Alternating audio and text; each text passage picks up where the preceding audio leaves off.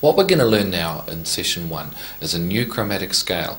Previously, in the beginner's course, you'll remember we did the chromatic scale where we just did it on the first string, where we did the open string first, then the first fret note, second fret note, third fret note, and fourth fret note. That was the ascending, and then we descended as well, starting from here and going back.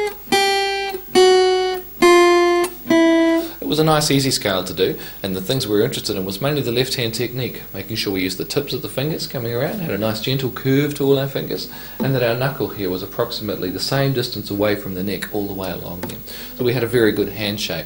What we're going to do is retain that hand shape just make the scale a little bit more difficult. So this time it's going to go across two strings. So it starts on the second string with the open string first then we play the first fret second string note then the second fret second string note then the third fret second string note, and then the fourth fret second string note.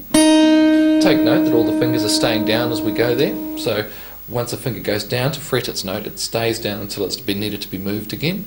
So once we've done that, so we're holding the fingers down still, then we're going to start to ascend up on the first string. So what we do is holding the fingers there without moving them, we play the first string open, then we just move the first finger down only, and then the second finger down, then the third finger down, and then the fourth finger down.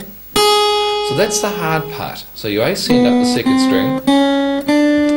That's nice and easy. Then the hard part comes when you have to play the first string open. And then we move the first finger down while keeping the others where they are. And this is where it gets difficult. Then the second finger down while keeping the third and fourth where they are. Then the third finger down. And then the fourth finger down. So that's ascending the scale. So we, when we descend, descending is nice and simple. We just go back the way we came. Then on the second string, all the fingers go down as one. So we don't just put them down one at a time like this. They all go down as one, and then we descend down the second string as well.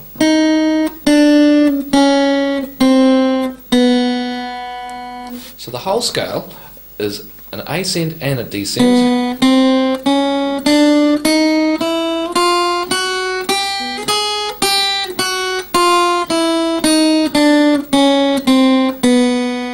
So the points you want to make sure of is that you still retain that nice left hand shape. The thumb is behind the neck, it's not coming over the top like this, and you haven't got a, a horrible slant to your fingers like that. You really want to be coming around flat. It takes a little bit of dexterity to get your muscles around so that you can actually curve the hand around like that, and it'll be a while before you can do it correctly, but it's well worth the effort to make sure you get it right.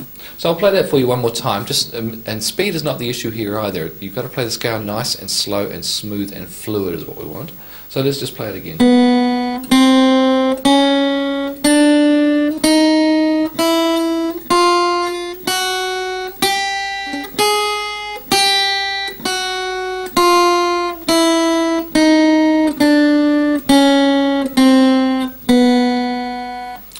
Welcome to speed that up as you want, but just make sure it retains its, its fluidity.